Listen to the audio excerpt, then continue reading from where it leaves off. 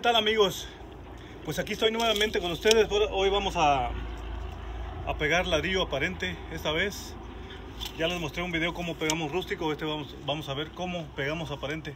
Para pegar aparente hay que tomar en cuenta la altura de la parte de arriba.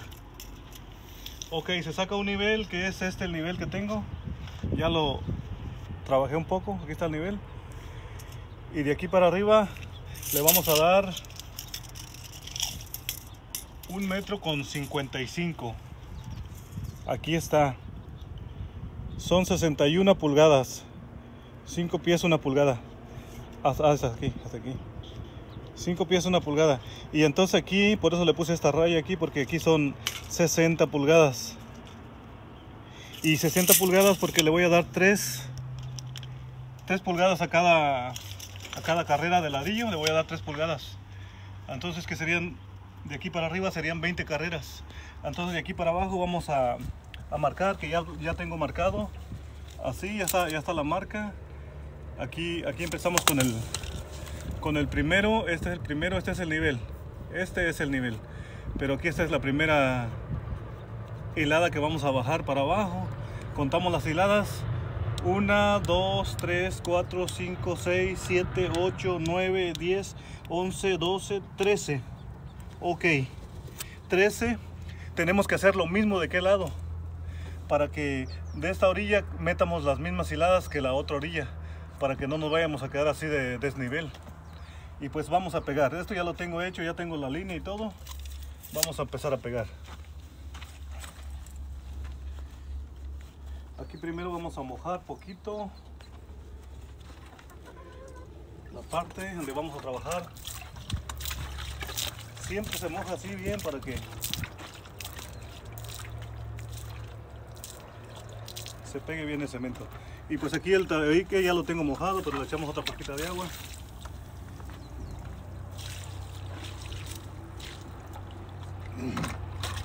Y vamos a darle pues.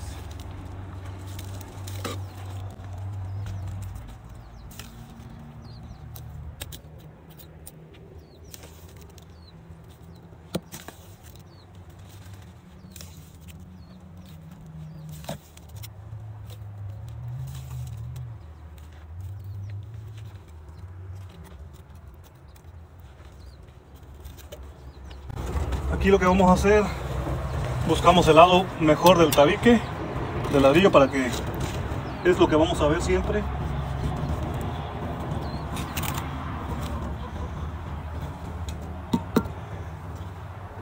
Aquí me quedó un poquito arriba el ladrillo este, pero lo que vamos a hacer, lo vamos a recuperar poco a poco. Vamos a ir recuperando eso poco a poco porque pues es la hilada que entra ya. Si no, pues tendría que meter otra hilada y pues me va a salir corte. Y no quiero meter corte. Aquí les muestro un poco más o menos cómo lo vamos a hacer.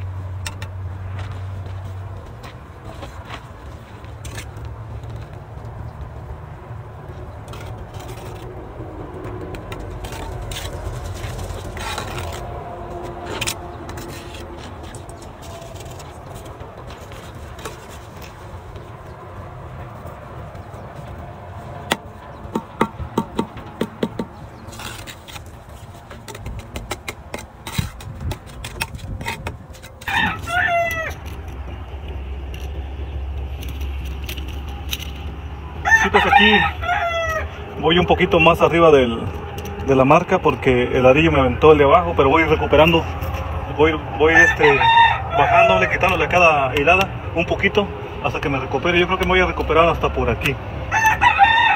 Voy a recuperarme. Ahorita vamos a seguirle pegando porque ahí voy casi ya me recupero. Vamos a seguirle pegando, pegando y pegando.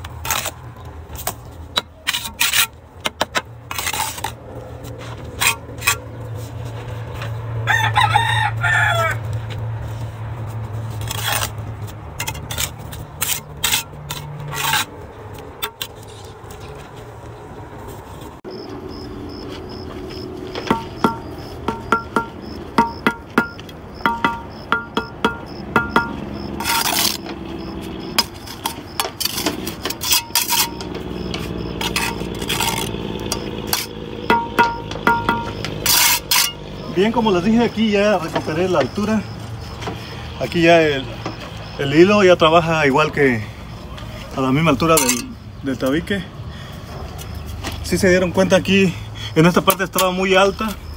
Y como yo me basé en las orillas, no me di cuenta, pero como ahora sí que la experiencia que tenemos, los que ya sabemos, yo supe cómo hacer esto de recuperar para ya dejarlo aquí, aunque la primera hilada la fui poniendo un poco arriba, un poco arriba, pero ya todo lo fui disminuyendo el, el, la junta y pues aquí ya la recuperé. Y de aquí para arriba vamos a darle igual como lo que es normal 3 pulgadas. Bien pues ahora le voy a raquear. Este es un raqueador profesional. Es un carrito con llantitas. Se le pone un clavo aquí que se le afloja aquí y se le pone y se le pone a la medida que, que uno quiere dejar de profundo aquí en la en el ladillo aquí en el ladillo entonces este pues ya nomás se pasa y con las llantitas bien que corre así.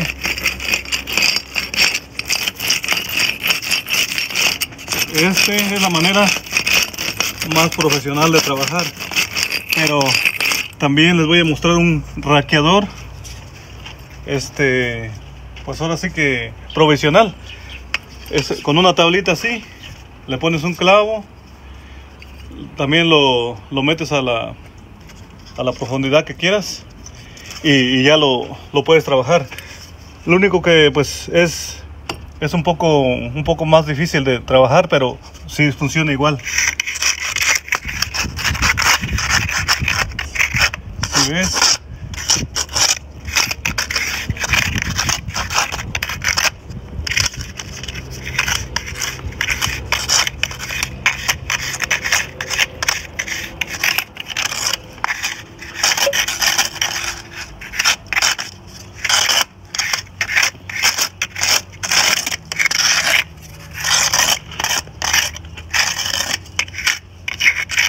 Igual es lo mismo que hace. Bueno pues este sí lo deja un poquito más este a la medida porque como pues están las llantas pues está toda la medida y ahí está ahí está como se raquea este terminado de de tabique aparente raquear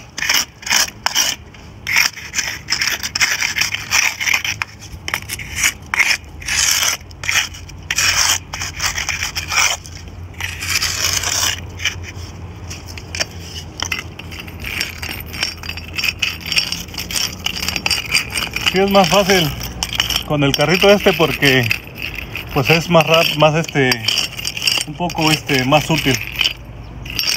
Pero si alguien quiere hacerlo así con una tablita también es también funciona muy bien. Y ahora ya nomás se le se le brochea aquí se le dan una para sacarle la el polvo que quedó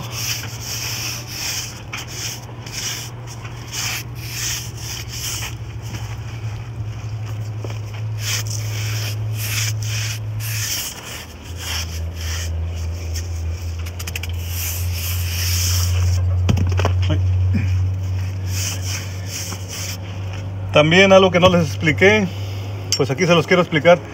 Aquí en este trabajo se tiene que, que tener mucho cuidado para que las líneas estas, las juntas, se vean todas derechitas aquí. Aquí pues hay veces que no te queda pues, pero lo más que se pueda. Lo más que se pueda y pues ya muchas veces queda un poquito diferente, pero pues se mira bonito. Bien mis amigos, pues esto fue como pegar ladrillo aparente del mismo ladrillo que es por rústico, hacerlo aparente. Este terminado todavía no termina así porque todavía le quiero rellenar estas boquillas, se las voy a rellenar con mezcla con color. Nada más que no lo quise utilizar como yo ya lo he trabajado con la mezcla con color, pero se le echa todo así con esta mezcla de fuera de color. Pero pues es mucha. Eso lo hacen solamente las empresas y pues aquí es un particular y pues es mucho dinero que se gasta en eso. Y pues yo como lo voy a hacer ahora va a ser este, por eso le metí este terminado, a mí casi no me gusta. le, saqué este, la mezcla para después rellenarle y hornearle, dejarle el rayado. Bien mis amigos, pues espero que a alguien le sirva este video. Este, pues si les gustó, pues denle like y pues este, si gustan suscribirse para que me apoyen. Y nos estamos viendo hasta el próximo video, claro que sí. Hasta la próxima.